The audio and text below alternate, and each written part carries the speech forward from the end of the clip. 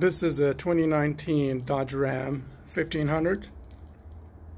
It's fully loaded. This is the limited edition.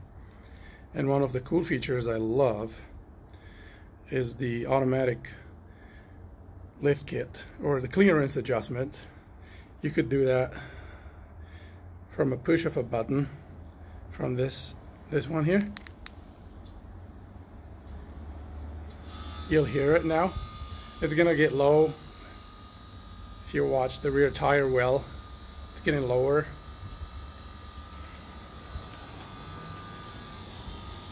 And of course, it's a, there's an automatic setting for it while you drive.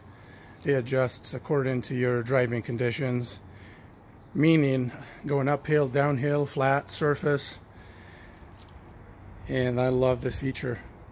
In order to get ideal gas economy, you want to be on lower clearance, especially going high speed on the highway or the freeway. And if you're going on um, off-roading or I don't know, downhill, uphill, you want to adjust the clearance high enough so you don't run into objects, rocks, etc. You can pop the tailgate. And that was it. Thanks for watching.